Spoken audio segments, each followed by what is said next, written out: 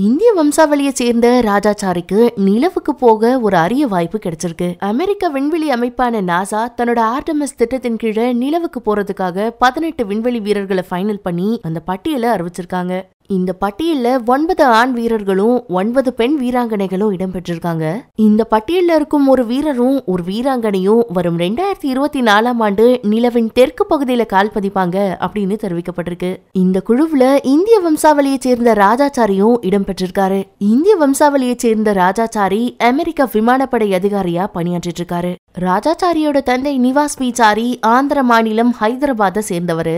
நிவாஸ் பீச்சாரி அமெரிக்காவுக்கு குடிபெயர்ந்திருக்காரு. இதையடுத்து கடந்த ஆயிரத்தி தொள்ளாயிரத்தி எழுபத்தி ஏழாம் ஆண்டு விஸ்காசின் மாகாணத்தின் மில்வாக்கி நகர்ல ராஜாச்சாரி பிறந்திருக்காரு. அயோவா மாகாணத்துல வாட்டர்லூவில் இருக்கக்கூடிய கொலம்பஸ் உயர்நிலை பள்ளியில பள்ளி படிப்பு முடிச்சிருக்க ராஜாச்சாரி கொலரேடாவில் இருக்கக்கூடிய அமெரிக்க விமானப்படை கல்லூரியில சேர்ந்து விண்வெளி பொறியியல் படிப்பு படிச்சிருக்காரு. இது தொடர்ந்து மாசுடஸ் அறிவியல் நிறுவனத்திலிருந்து ஏரோநாட்டிக்கல் மற்றும் விண்வெளி துறையில முதுகலை பட்டம் பெற்றிருக்காரு ராஜாச்சாரி.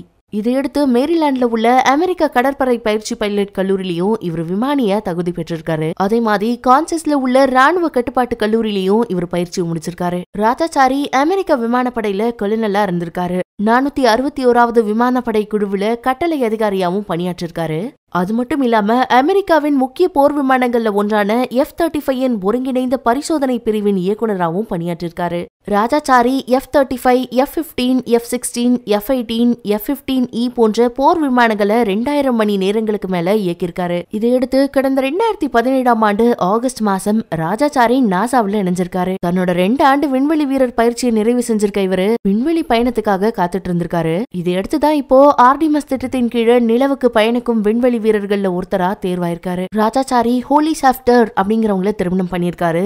இவங்களுக்கு இப்போ மூணு குழந்தைகள் இருக்காங்க. ராஜாச்சாரி ராஜாச்சாரிக்கு நாற்பத்தி மூணு வயசாகும் நிலையில நிலவுல கால் வைக்கும் ஒரு அரிய வாய்ப்பு இவருக்கு கிடைச்சிருக்கு. இந்த வாய்ப்பு கிடைச்சத பத்தி ராஜாச்சாரி கிட்ட கேட்கும் போது நான் என்னோட தந்தையினால ஊக்குவிக்கப்பட்டேன். என்னோட தந்தை ரொம்ப இளம் வயசுலயே ஹைதராபாத்ல இருந்து பொறியியல் படிப்புக்காகவும் நல்ல உயர்கல்வியை பெறணும் அப்படிங்கிற நோக்கத்தோடவும் சிறப்பான ஒரு வாழ்க்கை அமையணும் அப்படிங்கிறதுக்காகவும் அமெரிக்காவுக்கு வந்தாரு. அதுதான் என்னோட வாழ்க்கையிலயும் பிரதிபலிச்சிருக்கு. என்னோட குழந்தை பருவம் முழுக்க கல்வியில தான் என் கவனம் இருந்துச்சு.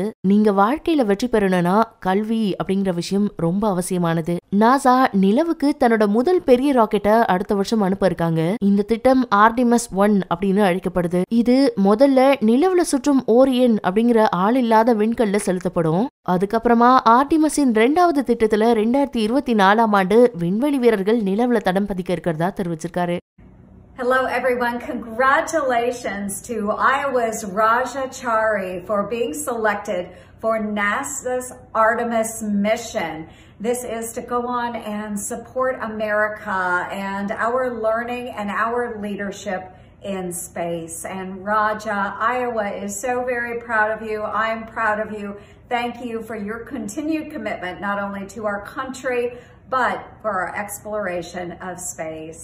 மேலும் பல செய்திகளை உடனுக்குடன் தெரிஞ்சுக்க நியூஸ் கிளிட்ஸ் சேனலுக்கு சப்ஸ்கிரைப் பண்ணுங்க நியூஸ் கிளிட்ஸோட இணைஞ்சிருக்க பக்கத்துல இருக்க பெல் ஐக்கானையும் பிரஸ் பண்ணுங்க